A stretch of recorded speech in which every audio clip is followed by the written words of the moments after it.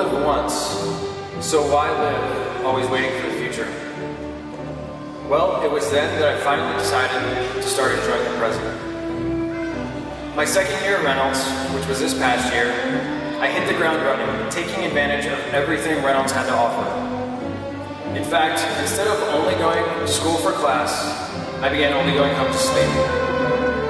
I joined Phi Theta Kappa, JSR League, became a member of the Reynolds Student Senate, and finally started taking full advantage of the college experience. And wow, did that make all the difference. This commitment marks the very first graduating class of one of our academies. The students are high school students at J.R. Tucker High School and today are participating in commencement to receive their Associate of Science degree. I would like for the Advanced College Academy students to please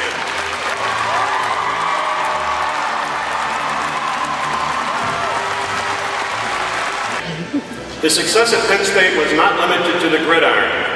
He also earned a Bachelor of Arts in Advertising and Public Relations in three short years, leading him to be named Academic All Big Ten for three consecutive years. And in 2005, he added a second bachelor's in journalism to his resume. Michael's ultimate dream came true in 2006 when he was drafted by the San Francisco 49ers. After four years with the 49ers, Michael joined the Seattle Seahawks.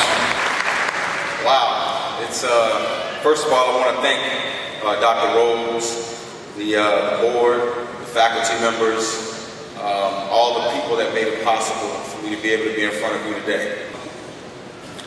There are two guarantees that guide my life death and adversity. So be respectful of people's time and learn how to respond and deal with adversity. Because again, it's guaranteed it's going to happen. When I got cut from Seattle and I got on television, I had an opportunity to bash Pete Carroll. He cut me. What? For some other cat. I had an opportunity to talk bad about that team. And when I got back, I remember standing in front of him and he said, You could have messed this up.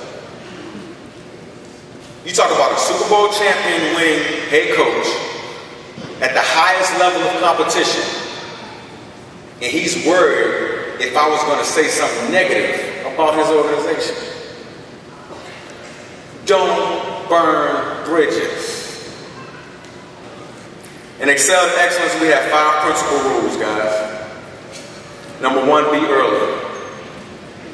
Be early. Number two, no excuses. No excuses. Because, see, your employer sometimes won't care that you woke up on the wrong side of the pillow. they don't care. They, they're worried about their bottom line. No excuses. Number three, protect the team. Your personal brand, your family name, whatever organization, whatever you're a part of, every decision you make, protect that team.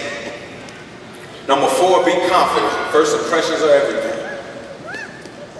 And number five, serve others.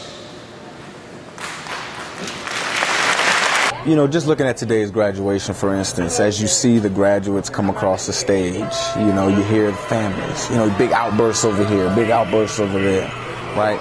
And you start to think, graduation and getting an education is not only for the student, but it's for the support system. It's for the, the, the people around you that helped you that, that helped you get there. And there's so many kids in this community that don't have that support system, right? And so uh, I believe in a team concept. I believe in something bigger than myself. That's why I do it. I don't I don't do it to get anything back. I don't do it for any personal gain. It's because I owe it to this community because this community made me the man I am standing here today.